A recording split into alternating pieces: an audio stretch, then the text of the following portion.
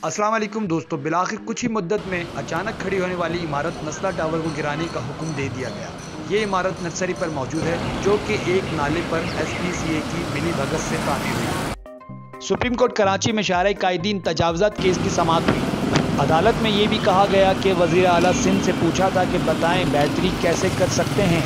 तो उन्होंने अपनी रिपोर्ट में कहा कि यहाँ सब कुछ अच्छा है। समाज के अंदर सर फहरिस्त नाम था नस्ला टावर का जिसके खिलाफ आज फैसला किया गया कि शार फैसल पर नर्सरी पे बनी हुई ये इमारत जिसका नाम नस्ला टावर है इसको फ़ौरनी तौर पर इसको गिरा दिया जाए और एस बी सी ए को जस्टिस गुलजार अहमद ने एस बी सी ए को ऑर्डर भी किए कि इस इमारत को फौरी मुनदम किया जाए यहाँ से क्योंकि ये इमारत नाले के ऊपर तैयार की गई है लिहाजा इसके खिलाफ जैसे कि नाले की इंक्रोचमेंट आप सब लोगों को पता है कि गुजर नाले की तरफ़ ऑपरेशन चल रहा है इनलीगल इंक्रोचमेंट चल रही है इसी तरह औरंगी टाउन नाला महमूदाबाद नाला मुख्तलिफ़ शहर के अंदर कायम मुख्तलिफ़ इमारतें जो कि नालों पर बनाई गई हैं और जिसमें एस बी सी ए का हाथ शामिल है, क्योंकि एस बी सी ए की मिली भगत के बिना शहर के इतने पोश इलाके के अंदर सी